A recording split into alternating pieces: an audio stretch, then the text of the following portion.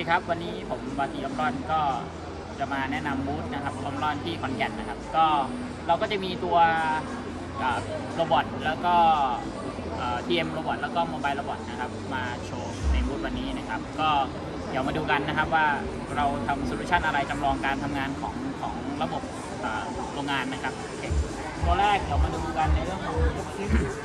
TM Robot นะครับ ก็คือตัวเนี้ยก็คือเอาไว้หยิบจับ ของชิ้นงานต่างๆนะครับ ตอนนี้เราก็จะมีจำลอง conveyor นะครับ แล้วก็จะมีกล่องจำลองในการขนส่งสินค้าอะไรก็ตามนะครับในการในการลำเลียงสินค้านะครับ แล้วก็อีกตัวหนึ่งก็จะมีตัว mobile robot ตัวนี้ของเรานะครับ ก็จะ mobile robot ก็จะวิ่งโดยที่สามารถสร้าง mapวิ่งได้เองนะครับ เราสามารถสร้าง map ให้เขาเขาก็จะวิ่งโดยที่ไม่ต้องต้องการจุด mark หรือว่าเส้นได้เลยนะครับ แล้วก็จะมีตัวตัวนี้เรามีการอ่าทำงานร่วมกันกับตัว conveyor ของของ Interroll นะครับ แล้วก็จะมีการลำเลียงสินค้าในการจำลองก็โอเคเดี๋ยวเรามาดูในเรื่องเรื่องของโปรแกรมนะครับว่าเราเขียนโปรแกรมคร่าวๆว่าเป็นยังไงโอเคในส่วน โปรแกรมตัวนี้นะครับ ก็จะเป็นตัวโปรแกรมที่จำลองแผนที่นะครับของตัวโมบายโรบอทนะครับ เราก็สร้างแมปพื้นที่แล้วก็กำหนดการวิ่งนะครับ แล้วก็มีการเขียนรับส่งข้อมูลกับ PLC ออมรอนนะครับ โอเค อันนี้ก็คือเป็นแมปคร่าวๆที่โรบอทเขามองเห็นอะไรนะครับ ก็มีแผนที่ โอเค โอเค เดี๋ยวเราก็จะมีการสร้างโกหรือว่ากำหนด สร้างมาโครในการวิ่งของโมบายโรบอทนะครับ แล้วก็มีการส่งเงื่อนไขต่างๆ ไปยัง PLC ตัว NX นะครับ แล้วก็จะโยนข้อมูลนะครับ หรือส่งข้อมูลไปให้ตัว TM Robot เพื่อจะติดต่อสื่อสารกันนะครับ เดี๋ยวเราไปดูฝั่งโปรแกรมของตัว PLC นะครับ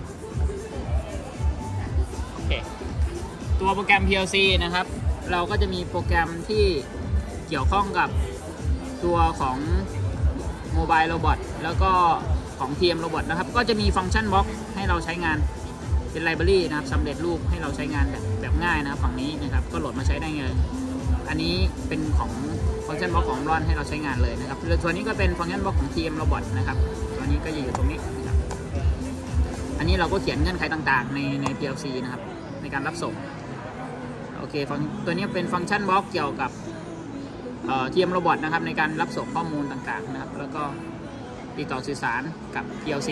แล้วก็เขียนเขียนจำลองการทำงานของของโรงงานจริงนะครับโรงงานเครื่องจักรจริง ๆ เลยนะครับ โอเค เดี๋ยวมาดูการ run step กันนะครับ โอเค เดี๋ยว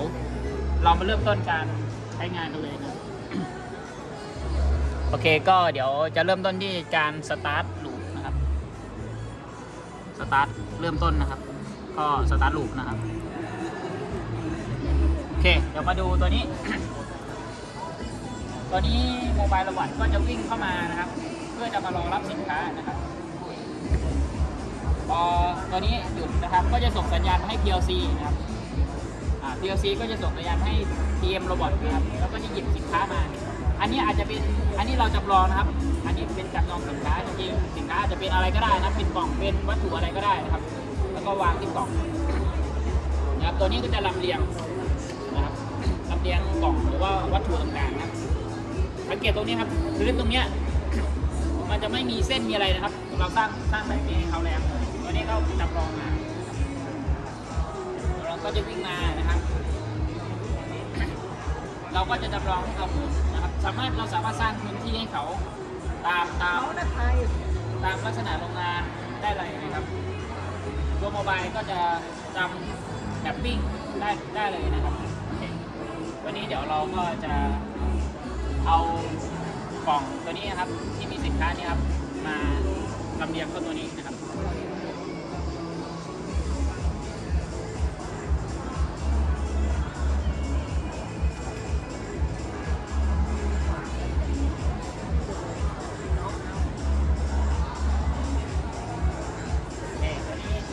เราเราเขียนโปรแกรมมา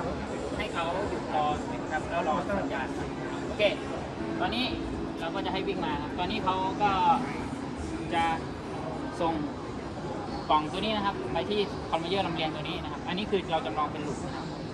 โอเค มันก็จะถ่ายสินค้าจากนี้เข้า conveyor ตัวนี้นะครับ ก็จะลำเลียงไป loop เราก็จะเป็นประมาณนี้ครับ โอเค ตัวนี้ก็จะไปติดล้อนะครับ ส่วน mobile ตัวนี้นะครับ ก็จะถอยมานะครับ ก็จะถอยมา แล้วก็วิ่ง วนลูปนะครับตัวเนี้ยวิ่งวนลูปไปรอรับไปรอรับสินค้านะครับอีกทีหนึ่งจับจำลองโอเค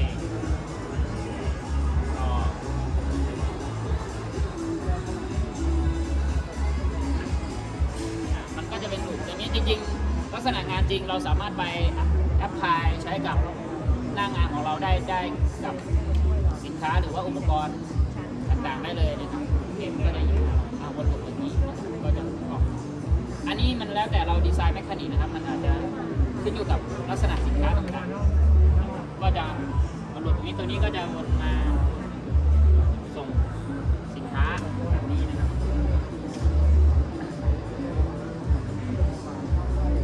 โอเคตัวนี้เขาเขาก็จะทำงานวนไปครับ